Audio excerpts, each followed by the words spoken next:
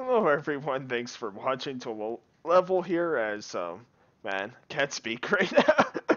uh and yeah, happy Thanksgiving in Canada here, so yeah.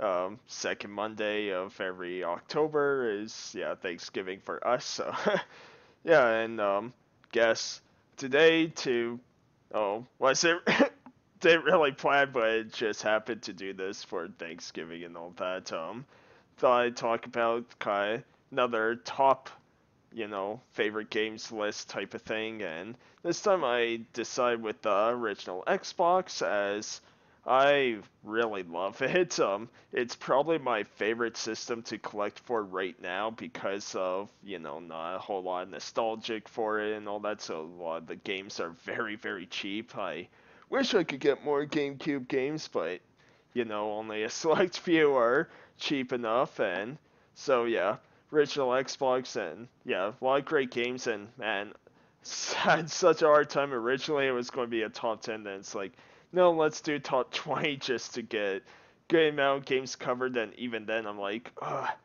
I looked at my shelf and I had such a hard time, but I think I'm kind of set with these 20. But yeah, um, guess a few things is yeah for third party games and all that just know like i don't have all of them on the original xbox so things like lord of the rings games or grand theft auto and all that won't be featured in this because yeah i have those on other systems which you know definitely if i had xbox versions of them they would be on here. But uh yeah and you know or some things that you know games there's a lot of games i haven't even touched in my library or anything like that. And you know just stuff like that or some games like uh, elder scrolls morrowind um that one isn't on here because while for the longest time it would have been in my top five uh, original xbox games. Now like you know it is a very dated game so it's not there. So yeah just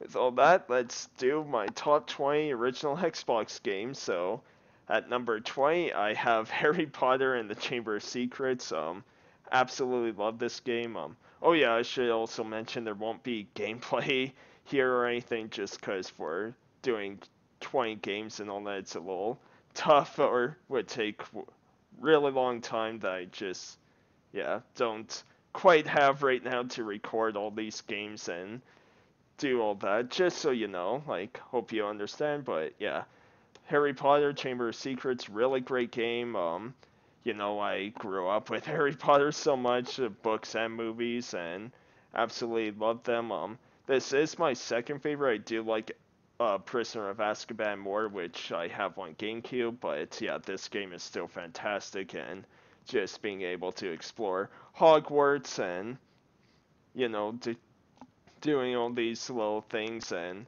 uh, wish Quidditch was a bit more in this, but you know, still very solid game. Really love it, and yeah, kind of childhood favorite. and at number 19, I have Gladius. So this is another game that grew up with, which I actually never owned until pretty recently in the last few years. Um, always played this at you know, my best friend's house at the time, and since I didn't even have original Xbox for the longest while, but yeah, absolutely love this game. Um, very fun, tactical role playing game, and yeah, a lot of depth to it, and uh, yeah, just a really cool time, and yeah, had a lot of fun playing this at friend's house, and we always take turns uh, playing through with that. so uh, at number 18, I have Phantom Dust. Excellent, excellent game. Um, so this was kind of during a time where card RPGs were like the biggest thing. They were everywhere. I kind of wish they were there were a bit more. Like I know there's some indie games that still do it, like um, uh, Steam. What was it? Steam World. Uh, it's part of the Steam World or uh, games or whatever because there's Steam World Dig, there's like Steam Heist and uh, a card one like Steam World Quest or something like that. But yeah, that one's excellent. But yeah, so during a time with card RPGs, this was this is still like an excellent game. There was supposed to be a remake of this like years and years ago, but something happened with Microsoft where they didn't fund it, so it never happened. And um, can't remember if this got remastered or re-released or something like that. I feel like it did, but I still just played this version. It's still an absolute blast trying to kind collect all the cards and build strategies. It's a really fun game to play over and over again because you can do completely different things with it and yeah just absolutely love this game then at number 17 i have ultimate spider-man so yeah another excellent spider-man game um you know and i love that it was this whole kind of cha- you know choices and all that and yeah playing as like spider-man and venom and yeah, just a really fun um, kind of open world exploration type of game with a lot of little uh, tasks to do. Jeez, I can't talk, I can't think right now. but yeah, really fun and uh, really great art style too. Has that cell shaded comic book look. So yeah, really love that. And yeah, just one of my favorite Spider-Man games to play. So what's 20, 19, 18, 17, okay. so we're at 16 and we have Scarface, The World Is Yours. So this was something I picked up just a few months ago, but yeah, absolutely love this game. Um, kind of wish I picked this up uh, before I did my licensed game series and all that to cover that. But yeah, just a really cool Grand Theft Auto style um, game that kind of changes the story a little bit where you get the iconic line like say hello to my little friend right and uh kind of alters the story right? So instead of yeah tony montana like um you know his story sort of continues right? So yeah just an excellent excellent game. Very fun very cool. Grand theft auto clone and yeah highly highly recommend and I already forgot what was that 2019 18 15 we're at now. I lose count easily so at 15 I have uh, Incredible Hulk Ultimate Destruction. What a fun just open world playground type of game right? Like uh, being able to destroy whatever you want and yeah it's just pure, pure fun. It's another Grand Theft Auto type clone, and it works so well. Which it sounds so weird for you know, uh, kind of superhero type game or whatever, but man, it's so fun and destroying everything, rack, wreak as much havoc as possible. It's just yeah, fantastic game. All right, at 14, I think. One, two, three, okay. 19, 18, 17. Yeah, 14. Oh man, I'm so bad at this.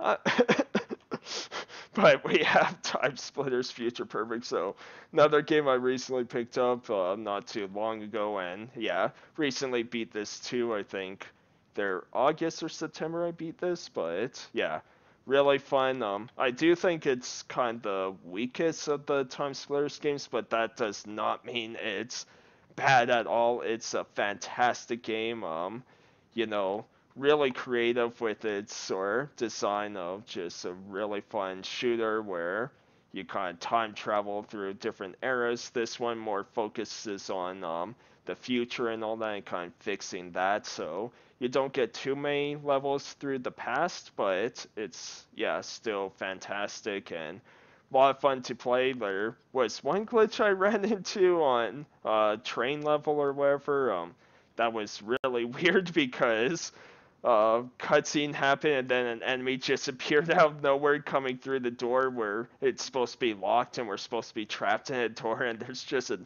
enemy there like it was so broken because I could leave through the door that's supposed to be locked, you're not supposed to open it. It was so broken, but yeah, after I died, it was all fixed. So yeah, really fun and had great time playing that. Um, oh, 20, 19, 18, 17, 16, 15, 14. So 13. Ah, sorry, something in my eye.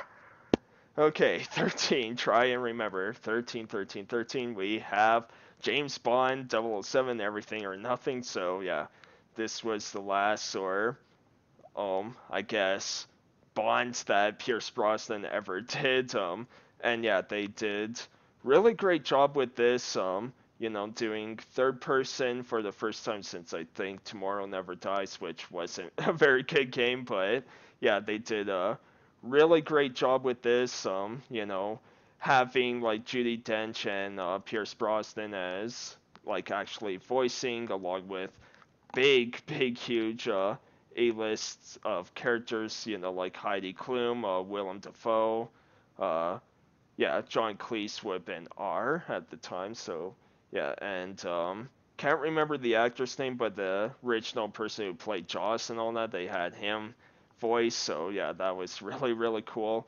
Excellent game and excellent way to sort of go out, you know, swan song for Pierce Brosnan and all that for 007. Yeah, fantastic game, love it. So I know that was 13, so we're at number 12. 12, 12, 12. We got Return of Castle Wolfenstein. Fantastic uh, shooter, like great characters, great story. Um, these Wolfenstein games are so, like, just so cool, right? Um, because it kind of has an alternate history, you know, with like World War II and all that, and yeah, just absolutely love it. Multiplayer was great, but the story itself and levels, like, there's just so much packed into this. Like, you could, yeah, it's just amazing game. I was debating so much on putting this in my top 10, um, but just fell a little short, but that does not mean it's bad. Again, fantastic game. And at number 11, I have Soul Calibur 2. So, yeah, really love this. Um, you know, not super big on fighting games, but man, when there's a fighting game that really draws to me, like, I love it. And, um, oh man, my nose is itchy now.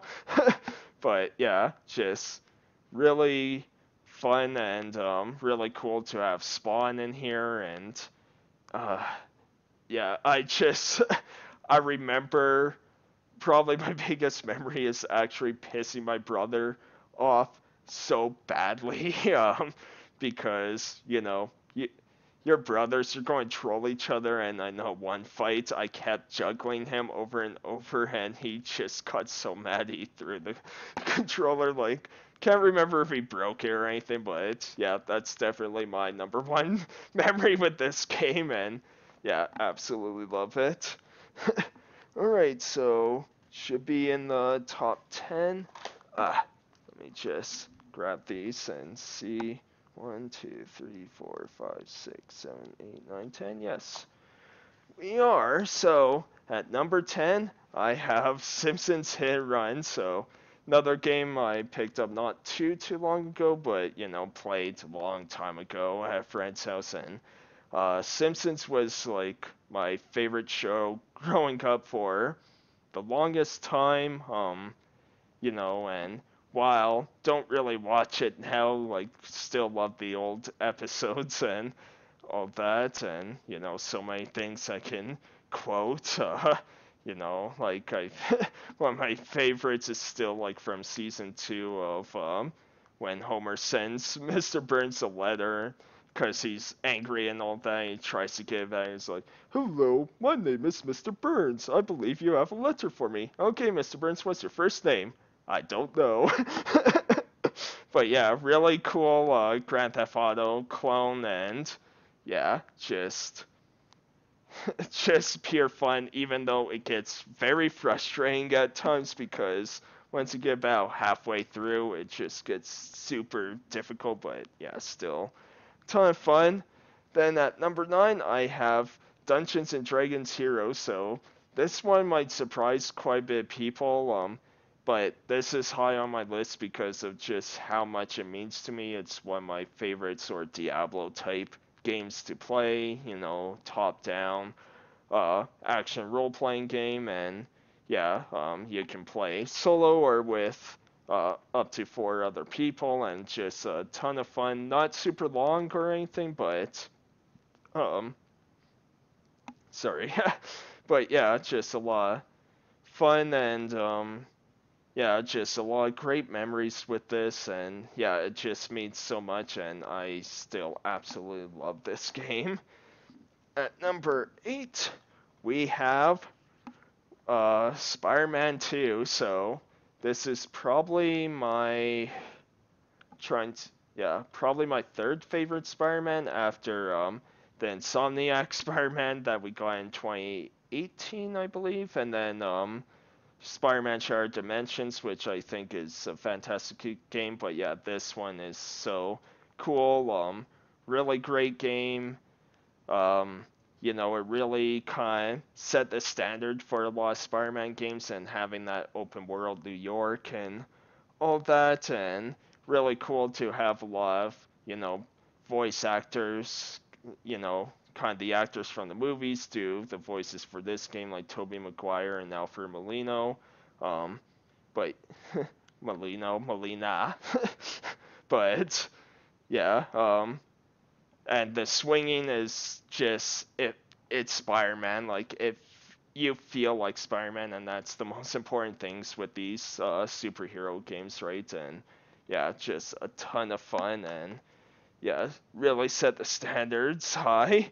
So that was number eight. So number seven, we have Crimson Skies. So yeah, talk about like probably my favorite um kind of dogfighting game of all time. Um, besides maybe Star Fox 64, but even then, like I'm not sure. Just this is pure, pure fun of just yeah, one some of the best dogfighting experiences you can get, and um, yeah, it's too bad that the series sort of just kind of disappeared and all that because yeah, this is fantastic and um, yeah, if you can find this, pick it up. Like you can get this for a buck or wherever. It's so so cheap and yeah, absolutely amazing.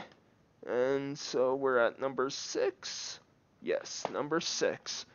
So at number six, I have another James Bond 007 Nightfire. So yeah, still fantastic game. It's yeah, no, it's kind of weird. I have like green case for platinum hits uh, one here, but yeah, um, just one of the best uh, James Bond games out there, especially now because you know GoldenEye will always sort of be thought about at least in a legacy type of situation, but you know it doesn't hold up too well. But this game, man, it's so fun and um, you know really cool story, original story, and all that, and just yeah, it's. I'm not sure you're going to get a bit like I'm hoping. Um, I know James Bond like uh, IO Interactive, I believe. Like a, I think that's the company, the Hitman guys. I'll just call them. Um, making a new one. So yeah, really looking forward to that because yeah, we haven't had a James Bond game in a long, long while, and um, yeah, hopefully they can uh, top games like Nightfire or before when I said with Everything or Nothing.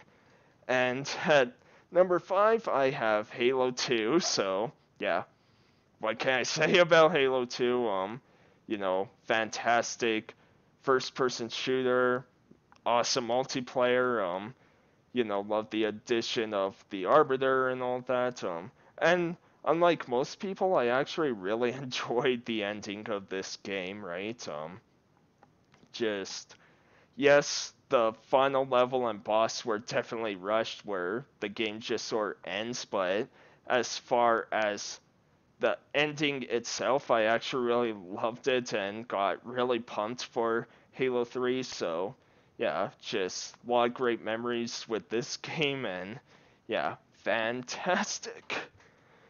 And at number four, I have uh, Jade Empire, a game that's, you know, forgotten many, many times so much, but it is, you know, Bio one of Bioware's best works as yeah, just kind of dealing with like martial arts and all that, and yeah, really cool story. Plays pretty much the same as uh, you know, Knights of the Old Republic and all that, and yeah, just so fun, such great characters. Like I think that's the biggest thing with this is like the characters and game itself. It's just phenomenal, and yeah, highly, highly recommend people check it out.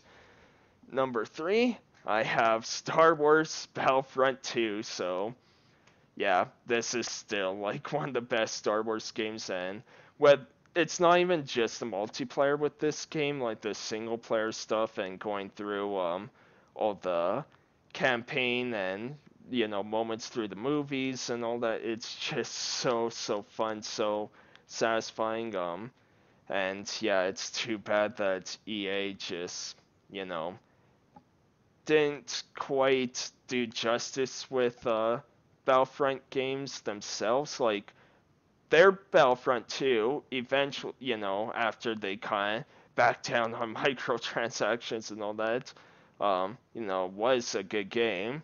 Just there's something about this that, yeah, it's just fantastic. I don't think it'll ever be taught um, for that style of Star Wars game, anyways. That sort of shooter and multiplayer madness. So, number two, gotta pick Halo. So, um, yeah, was funny. Play- First time I played this was uh, Christmas uh, 2001. I got a phone call from my best friend at the time who said, "Hey, I just got an Xbox for Christmas. Got Halo, you know, packed in and all that. Um, and said like you gotta come over we gotta play this i'm not even going to touch the game until you come over and we play and beat this uh, together and all that and yeah just oh man what can what can i say like this set the standard for you know shooters moving forward um and while halo doesn't have the same household name that it used to um it's like these games still have some of the best stories for any shooter that you will ever see and yeah what more can i say? Then my number one game on the original xbox is star wars knights of the old republic and now they're remaking this which is really exciting um hopefully it turns out good but even if it falls a bit flat or wherever, this game is still so fun to play. One, you know, my favorite Star Wars game ever. Um, and yes, like characters story. Um, you know, one of the greatest plot uh, plot twists of all time, and yeah, if you never played this, either wait for the remake or yeah, check this game out because yeah, it's just so fun and while it is a bit dated, especially on the original Xbox with loading times and all that.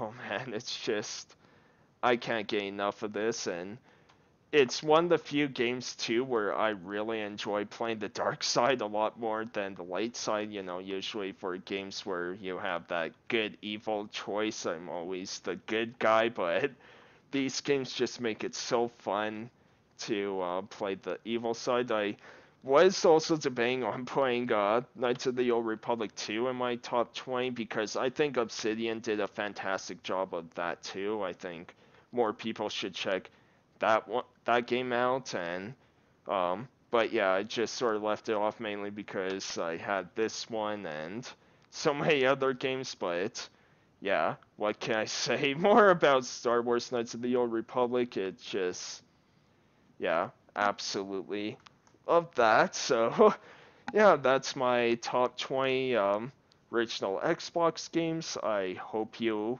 enjoyed um and yeah, I'll see you next time. And you know, th- since it's Thanksgiving, go and have some turkey, some pie, and just relax for the rest of the day. All right, thanks everyone, and take care.